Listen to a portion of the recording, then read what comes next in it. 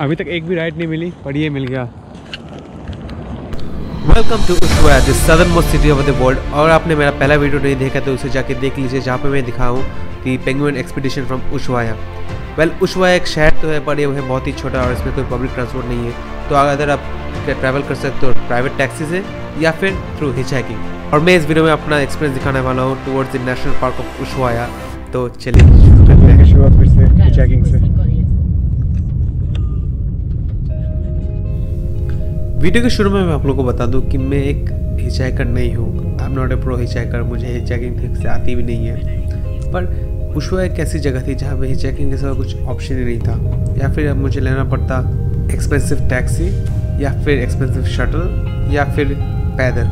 Well पैदल चल सकते थे, पर चलते चलते अपना हाथ दे गए हिचाइकिंग में आजमा भी लिया अपना लक और मिल भी गया मुझे बहुत सारे राइड जैसे कि मुझे टोटल उशवा में तीन दिन में मिले, पाँच ride even in the city तो अभी हम लोग आए हैं नेशनल पार्क के ट्रैक करने के लिए, जो कि इधर से ज़्यादातर लोग बस लेते हैं।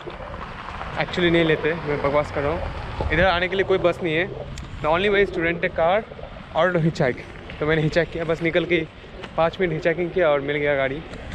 इधर से जाने पड़ते हैं वो नेशनल पार्क और बस दो किलोमीटर बाद नेशनल पार्क है। और इधर है oldest train station well train station मतलब ओल्डेस्ट नहीं world southern most train station जो कि अभी बंद हो चुका है क्योंकि अभी बज रहे शाम के बजे शाम के चार और स्टेशन तीन बजे बंद हो जाता है। पर कोई नहीं, हम थोड़ा ट्रैक करते हैं और देखते हैं नेशनल पार्क का क्या हिसाब है। सुना है एंट्री के लिए लगता है एटलीस्ट चौदह पंद्रह डॉलर मतलब तकरीबन हज़ार रुपये लगता है एंट्री के लिए। तो मैं तो वो पे नहीं करने वाला। बाकी देखता हूँ। क्या हिसाब है?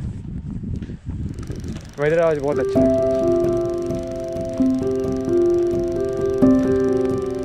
चलो ड्रोन उड़ाते हैं।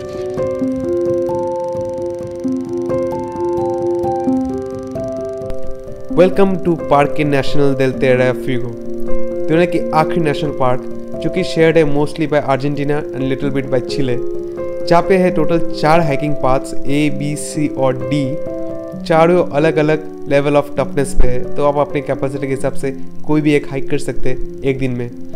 Every one varying from ten to fifteen kilometres और आप चाहे तो ओवरनाइट यहाँ पे कैंपिंग ही कर सकते हैं, जो कि most of the travellers do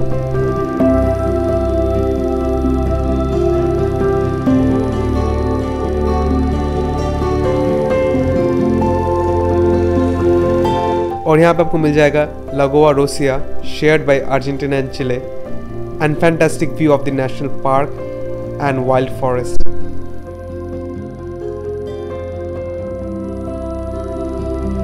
And this is one of the main attraction when you come to the last city of the world, Ushuaia.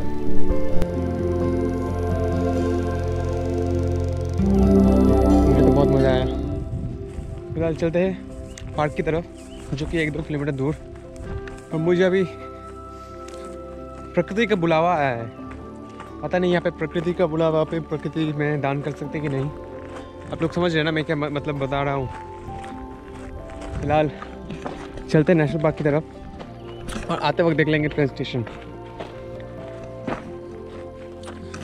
Well shorts उतने अच्छे नहीं थे, क्योंकि मेरे पहले एक्चुअली मेरा सेकेंड अटैम्प था।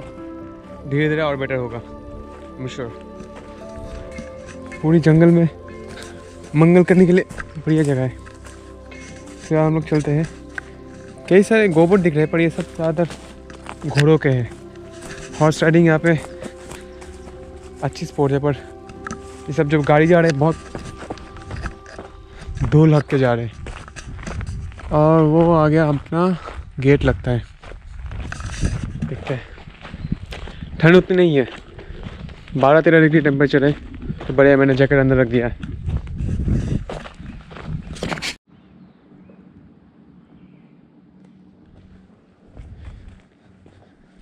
तो ये है पार्क और और भी बहुत आगे जाने के बाद आ जाएगा चिले। पर तब रोड ख़त्म हो जाता है और पार्क भी एंड हो जाता है। फिर देखते हैं, टिकट विकट का सीन है या फिर ऐसे ही जाने के देंगे। देखते हैं क्या सीन है। पाँच सौ साठ पेसोस मतलब तकरीबन सात सौ रुपये दे के एंट्री लेनी पड़ेगी एक दिन के लिए। और पार्क का एंट्री और एंट्रेंस होता है सुबह आठ से रात बजे, आठ बजे तक।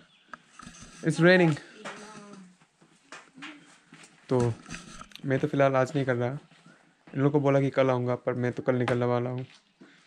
तो आप आओ तो कैंपिंग कर सकते हो। अच्छा ऑप्शन है। और ट्रैक कर सकते हो, उतना बड़ा भी नहीं है। दस बारह किलोमीटर के ट्रैक्स होते हैं मतलब पाँच छः घंटे की। अगर मैं सुबह आठ नौ बजे आता या फिर दस बारह बजे भी आ जाता तो मैं सोचता पर अभी बज रहे हैं पाँच और आठ बजे बंद हो जाएगा और मुझे नहीं करना है। सुबह आता तो पाँच सौ साठ पैसों ठीक है व्यूज़ आर गुड बट अभी नहीं कर रहे और वापस चलते शहर देखते क्या हो सकता है।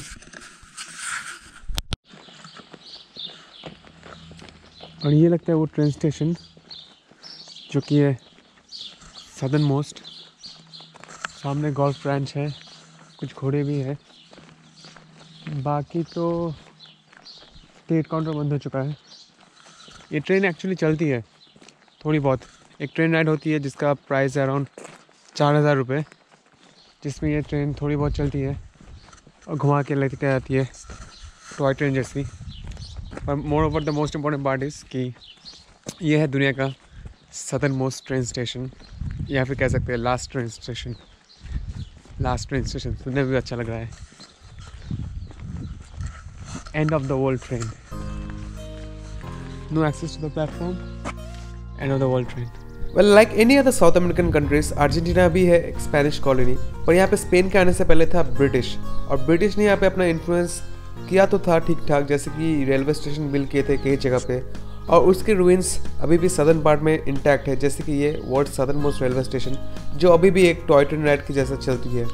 और इंटरेस्टिंग बात, अभी भी ब्रिटिश के कब्जे में है एक आइलैंड जिसका नाम है फाल्कन आइलैंड्स जो कि अर्जेंटीना खुद का मानता है। आप लोग को दिख रहा नहीं, उधर लोग जो गोल्फ खेल रहे हैं एक्चुअल गोल्फ कोर्स भी है। बढ़िया है ना? पर बहुत टूरिस्टिक करके रखा है इसको टिकट विकेट करके नो एंट्रीज अलाउड आप लोग पास टाइम हो, अगर इच्छा हो तो अगर आप लोग ट्रेन में फैसिनेटेड हैं, मैं उतना फैसिनेटेड नहीं हूँ ट्रेन से तो भी आप ले सकते हैं. End of the world train फ़िलहाल. चलते हैं. वापस उशवाया. एक बज रहे अरे यार. साढ़े छः सनलाइट रहेगी और चार घंटे. क्विक क्वेश्चन आपको क्या लगता है अर्जेंटीना का नेशनल स्पोर्ट क्या है? पॉज करके कमेंट कीजिए.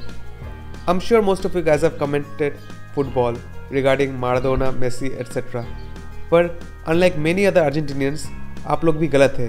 अर्जेंटीना का नेशनल स्पोर्ट है हॉर्स पोलो और कई लोग यहाँ पे हॉर्स पे पोलो प्रैक्टिस करते हैं हॉर्स राइडिंग करते हैं। इसलिए आपको मिल जाएगा यहाँ पे कई सारे बिग हॉर्स रैंचेस तो वापस चलते हैं। जाने के लिए तो हिचाकी करना पड़ेगा। तो उंगलियों का पूरा इस्तेमाल होगा अभी। चेक करने के लिए।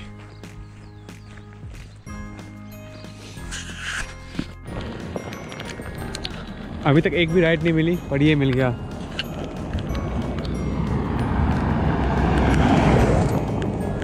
रेमो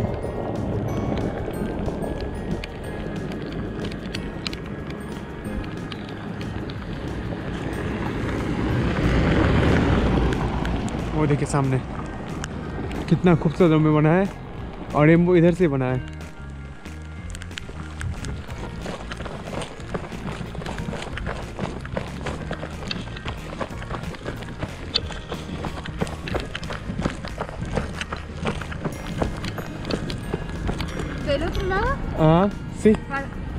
Ah, Ushuaia? Sí, sí. Sí. Ah, del otro lado.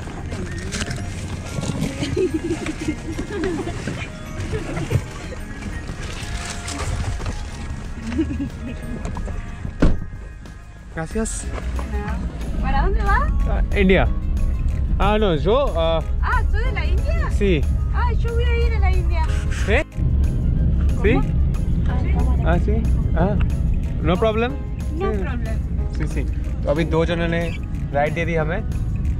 तो एक इनमें से एक इंडिया आ रहा है। आ, और एक जन नहीं आ रहे तो लड़की लोग भी देते हैं राइड अनजान लड़के को। उतना टफ नहीं है जितना सोच रहा था मैं।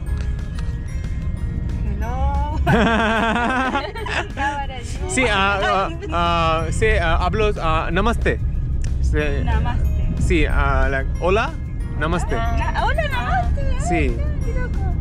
Namaste. Ah, namaste. Ah, तो एक लिफ्ट में आ गए उधर एक बढ़िया सा रेम्बो दिख रहा था और अभी थोड़ी बहुत बारिश हो रही है सी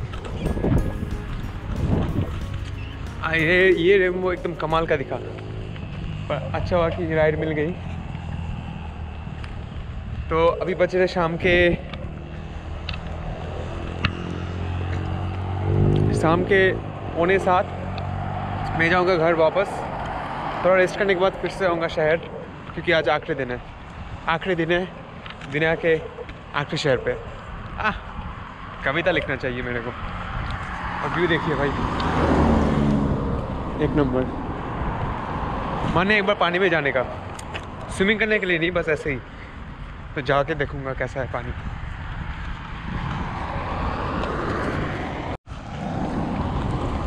एक बढ़िया सा नेबरहुड है और सारे बिल्डिंग नेचुरल बिल्डिंग है, पर ऐसे टीन से ढके हुए हैं क्योंकि विंटर्स में मतलब जून जुलाई अगस्त में बहुत बर्फ़ गिरती है और टीन वाले घर बर्फ़ को रेजिस्ट करते हैं। तो सारे बिल्डिंग्स इधर टीन से ढके हुए हैं। मैं जब आ रहा था, मैंने उनको बाहर से लग रहा था कि क्या टीन के घर में रहना पड़ेगा। अंदर से नॉर्मल वेल बिल्ड हाउस है।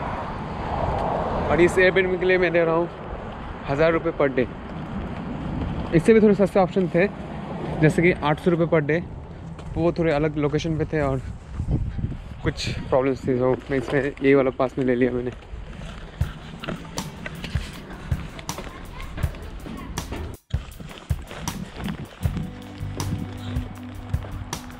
बारिश हो रही है, फिर भी मैं आ गया।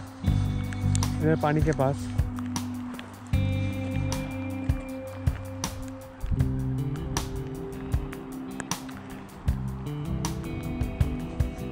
फटाफट पानी के यहाँ जाते हैं और फिर घर लौटते हैं। क्योंकि अभी बजे रात के साढ़े नौ। समझ गया ना? साढ़े नौ। और कल रात साढ़े बारह बजे तक लाइट थी, उस साइड हॉराइजन में। क्योंकि उधर साउथ में है अंटार्कटिका और उधर रात के साढ़े बारह बजे तक थी रोशनी। है ना नेचर यूनिक और खूबसूरत। सो so, इस नेचर में कितने खर्चे हुए मैंने इसके बारे में थोड़ा जान लेते हैं। मैं उस बार में था टोटल तीन रात। पहली रात मैंने बिताया एक हॉस्टल में बारह सौ रुपये पर नाइट पे और नेक्स्ट दो रात मैंने बिताया एयरबिन पे हज़ार रुपये पर नाइट पे। और इन तीनों दिन मैंने खुद से खाना पका के खा लिया, जिस पर मैंने एवरेज खर्चे हुए 200 से 300 रुपये पर डे सुपर मार्केट से चीज़ें लेके। उतने एक्सपेंसिव नहीं थे यहाँ पे। तो ऑन एवरेज मेरे पंद्रह सौ रुपये पर डे में खर्चा हुआ दुनिया की last city of the world पे। और बाकी एक्टिविटी मैंने किया था सिर्फ़ एक, साढ़े चार हज़ार रुपये का पेंगुइन वॉचिंग और मैंने एक वुलन ग्लव्स लिए थे ढाई सौ रुपये में। सर बताओ उशवा छोड़ के जाने का मन नहीं कर रहा है। मैंने मन खोल के एक्सप्लोर नहीं किया। पता नहीं नेक्स्ट ज़िंदगी में कभी मौका मिलेगा कि नहीं, पर सेटिस्फेक्शन नहीं आया।